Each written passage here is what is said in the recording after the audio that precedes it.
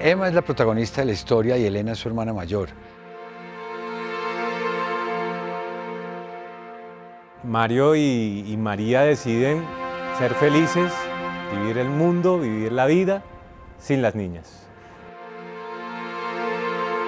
Entonces tienen un vínculo muy fuerte donde siempre están juntas. Emma y Elena son muy unidas y también como vienen como muy golpeadas por la vida.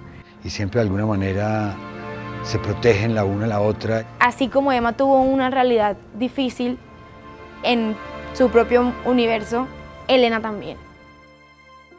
Y Elena, conforme pues iba viviendo las cosas, también se las iba enseñando a Emma, ¿no? Ella en Elena encuentra la parte maternal que nunca tuvo de la señora María. Porque a Emma le tocó sufrir y un montón de cosas, pero a Elena le tocó esto y además hacerse cargo de sus hermanos. Además de que ella la siente como una amiga, que le puede confiar todo, como una hermana, ella la siente más como su madre, la que le tiene que obedecer. Porque ella es una hermana mayor con todas las letras, se hace cargo de ella, a veces hace de mamá, porque al final la viste ella, la baña ella, la, la alimenta. Es una niña muy madura y muy sobreprotectora con su hermana Emma.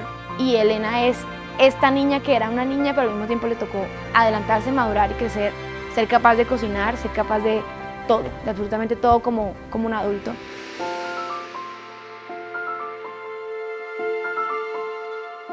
Elena es como una persona muy increíble para mí porque ella cuida mucho a sus hermanos.